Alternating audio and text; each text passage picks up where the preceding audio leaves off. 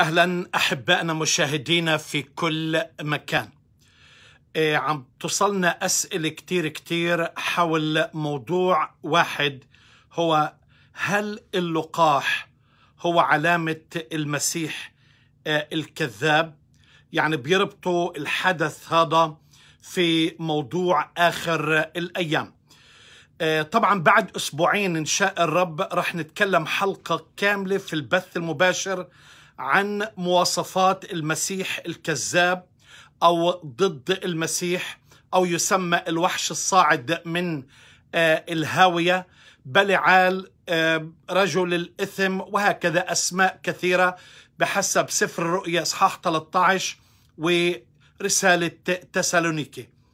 بس اليوم أنا راح يكون رد سريع على هذا السؤال بشكل مباشر. هل اللقاح هو علامة المسيح الكذاب. طبعا المقصود فيها علامة ستة ستة آه، ستة المذكورة في رؤيا إصحاح 13 جواب اليوم في البداية إنه دايما في أي وقت في أي عصر بيطلع شيء جديد. بنشوف إنه في نظريات كتيرة وفي إشاعات وأقاويل بتصير.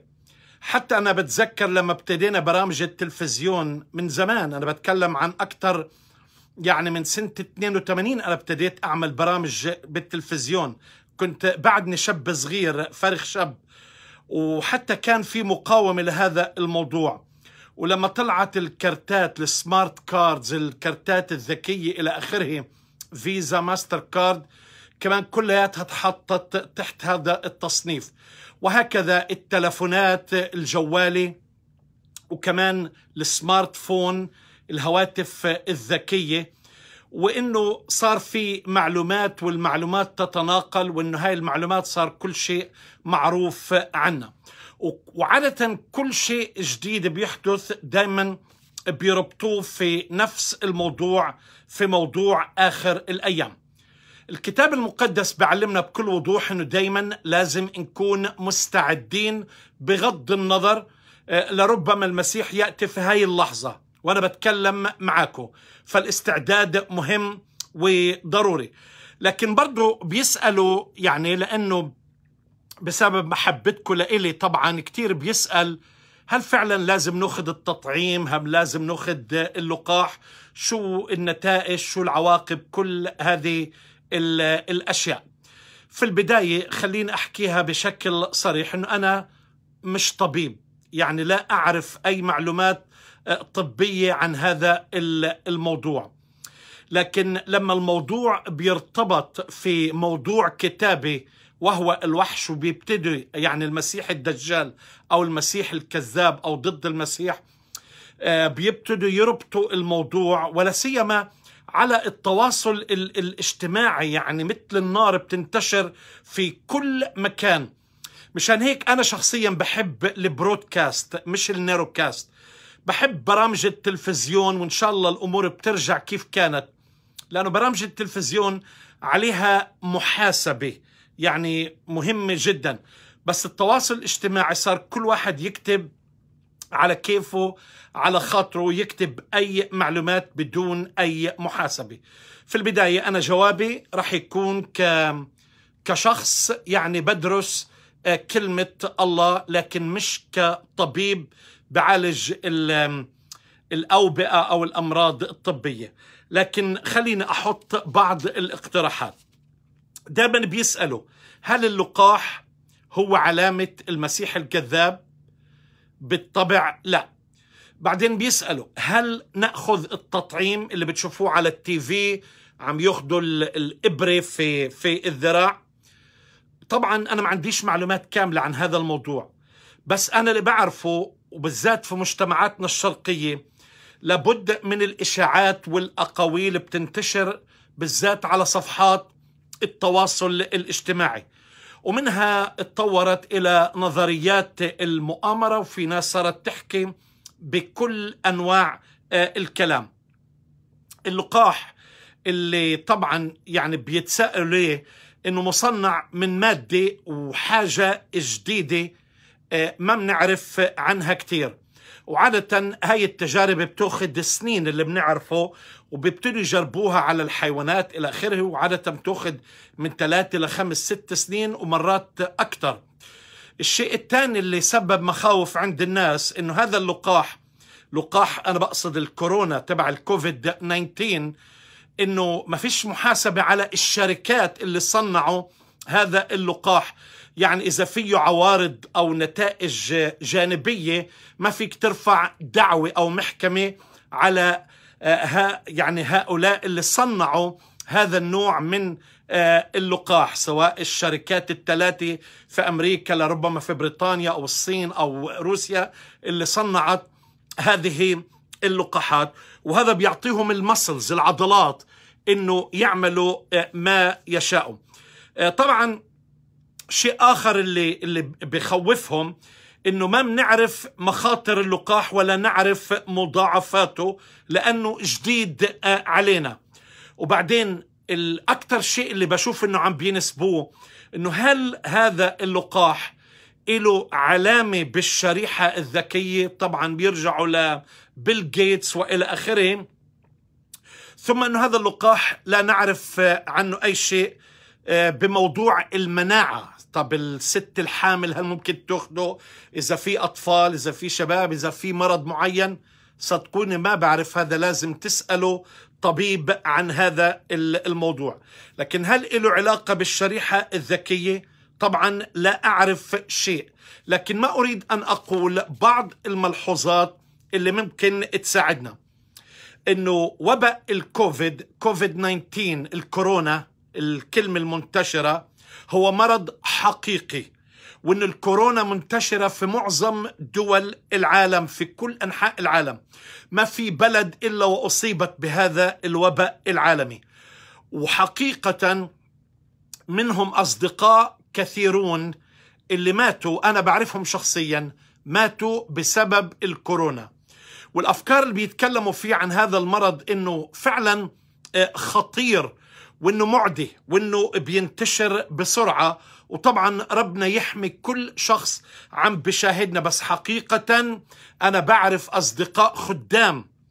يعني قصص وخدام للرب ماتوا بسبب الكورونا ومنهم أصدقائي. فهذا المرض لا نستطيع أن ننكره هو حقيقة. الحقيقة الثانية إنه هذا الوباء للأسف استخدم بين الناس كسياسة تخويف.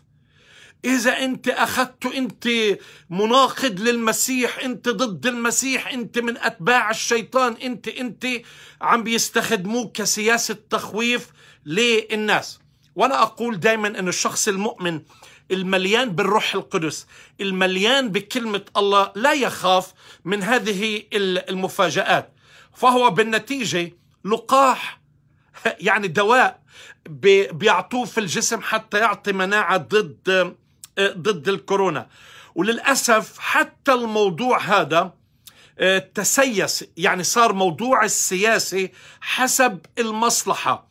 يعني بيستخدموه حتى ينزلوا رئيس أو يطلعوا رئيس لكن مالنا بالسياسة البعض بيربطوا الموضوع في بعض الدول الغربية منها كندا إنه في آب إنه كل إنسان ممكن يحط هذا الآب على جالكسي أو ايفون بحيث إنه تتراك يعني بيعرفوا وين أنت موجود بحيث إذا أنت كنت في مطعم أو في مكان بيعملوا tracking عليك إنه بيقولوا إن أنت كنت في هذا المكان هذا المكان فيه كوفيد أو إذا أنت عندك كوفيد ورحت على مكان بيقدروا يعرفوا وين أنت كنت حتى يمنعوا من الضرر أو انتشار المرض.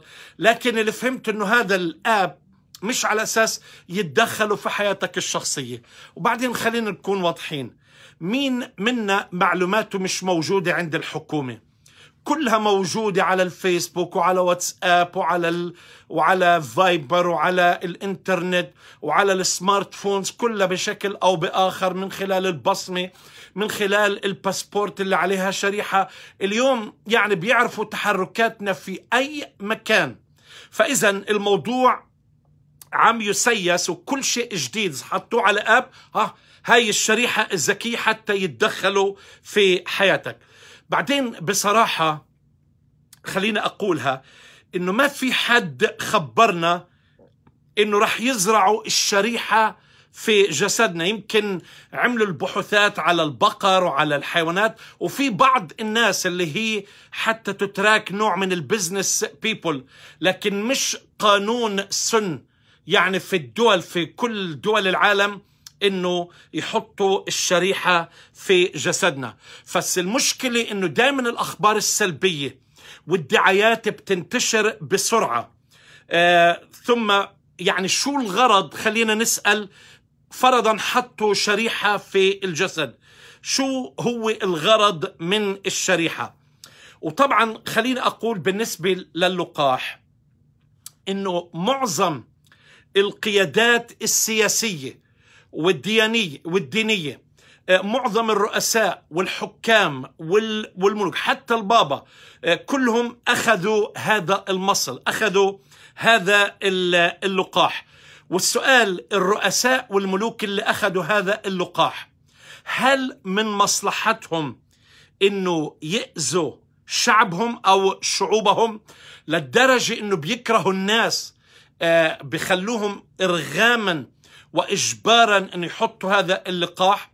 وبعدين المشكلة يعني أنا مثلا كمان شوي مش راح أقدر أسافر إلا ما يكون عندي ورقة إنه أخذت هذا اللقاح لأنه الطيران راح يكون حتى صعب إلا إذا أنت أخذت هذا آه، اللقاح. اللي عاوز أقول كل الغرض اللي عم نشوفه من اللقاح هو إنقاذ حياة. آه، أحيانا في عوارض جانبية بتسمع إنه في حالات موت هنا وهناك. في عوارض من حرارة آه، أو عوارض جانبية. أنا مش طبيب برجع بكررها إنه ممكن تحدث مع الشخص. لكن فكر في الملايين اللي استفادوا من هذا اللقاح وآبائنا وأجدادنا اللي هم كبار بالعمر إذا أخذوها أنت عم تنقذ حياة ناس. وبصراحة مين منا مش عاوز إنه الحياة تعود لمجراها الطبيعي وكنا نصلي إنه يطلع هاللقاح حتى نتخلص من هذا الوباء العالمي. لكن أنا بصلي إنه الرب يخلصنا بطريقته هو أحبائي. خليني أقول بالنهاية لكن رح يكون حلقة آه، مخصصة. إنه هذا اللقاح هي ليست علامة الوحش المذكورة في سفر الرؤيا. لأنه لا أحد يقدر أن يرغمك في أي شيء. يعني إنك تحط هذا هذه العلامة. الكنيسة الأولى رفضت عندما اصطدمت بالنظام الروماني عندما قالوا لا قيصر هو رب. الكنيسة قالت لا المسيح يسوع المسيح هو الرب. وابتدأ الاضطهاد الشرس ضد كنيسة آه، الرب. أخذ علامة الوحش هو مقصود هاي العلامة اللي بياخدها هو شخص بيكره آه، المسيح وهو مرتبط بعبادة الوحش لأنه آه، مثل ما ذكرت إنه في البداية رح يكون يمكن قائد سياسي يجيب سلام للناس عنده حنكة سياسية آه، بديهية إقناع العالم عنده قوة سياسية عسكرية دينية اقتصادية إلى آخره. يعني بوحد العالم آه، في نظام عالمي. لكن هذه العلامة اللي بيحكي عنها سفر الرؤيا هي علامة ظاهرة مش مخفية بشريحة. وهي العلامة أنت يعني بيعطوك الاختيار والقرار إنك تقبل تعبد الوحش. إذا أنت رفضت طبعا مصيرك الموت أو آه، يعني عدم المنفعة الاقتصادية إنك تبيع وتشتري إلى آخره. لكن ما في أي إنسان بيرغم إرادتك. هذه العلامة بحطوه على على اليد اليمنى وعلى الجبين وهي علامة ظاهرة بشكل علني. آه، واضح. وهي علامة الوحش يعني شيء مقصود. اللي بحطها هو الشخص الغير مؤمن والشخص اللي بيكره المسيح واللي بحطها هو عمليا مرتبط بعبادة الوحش. فالتطعيم أحبائي الكورونا لما بتطعم هذه ليست عبادة للوحش اللي هو المسيح الكذاب. كونك أنت بتختار التطعيم هذا لا يعني أنك أنت اخترت علامة الوحش لأنه التطعيم ينقذ الحياة. أما علامة الوحش اللي رح نتكلم عنها بعد أسبوعين هي علامة اللي فعلا بيوصل الإنسان إلى الحضيض بيكون انتي كرايست بيكون ضد المسيح بيكره المسيح بحطها لأنه بيكون بيعبد المسيح الكذاب الدجال اللي رح يجمع كل الأنظمة السياسية والعالمية والدينية كل الديانات رح يجمعها والإلحاد كله تحت نظامه ويتمم هذا النظام بالقوة اللي بيرغم فيها الناس. لكن ما في أي إنسان بيرغم عقلك أو إرادتك. لكن حتى يجي هذا الوقت إحنا ما فيش أي مشكلة تطعيم أو غير تطعيم لأنه ما حدا أرغمك إنك تنكر المسيح. لكن إذا بقولوا لازم تأخذ التطعيم بس بشرط إنك تنكر المسيح ساعتها بتقول لا شكرا. مش راح اخذ التطعيم. وهي هيك بس معلومات مبدئية. طبعا أنا بطلب منكم ترجعوا للناس المتخصصة من ناحية طبية لموضوع الكورونا. بس بأكد لك إنه هاي مش علامة الوحش وإنه ما بتفيد ولا بتضر إذا يعني لأنك أنت مش بتعبد الوحش ولا نظام ديني أو سياسي. هي بكل مجرد أنت بتأخذ لقاح ضد الكورونا. لكن في يوم من الأيام قبل مجيء المسيح يسوع المسيح في عصر رح يكون فيه ارتداد بكل معنى الكلمة اللي بياخذوا يعني بشكل علني بيكونوا كراهية للمسيح وبيتبعوا نظام اللي بيجي بهذا الوقت الوحش الصاعد من الهاوية كما يسميه الكتاب المقدس. عندها لك الحق إنك ترفض ولا رب. في ناس اللي هي ريزيستنس رح يكون في مقاومة كمان ضد المسيح الكذاب. لكن هل تأخذ اللقاح؟ اسأل الطبيب. ولكن إذا كان فيه فايدة للعالم أنا بشجع لأنه ما فيش أو الفايدة تبعته أكثر من الضرر. والرب يباركك.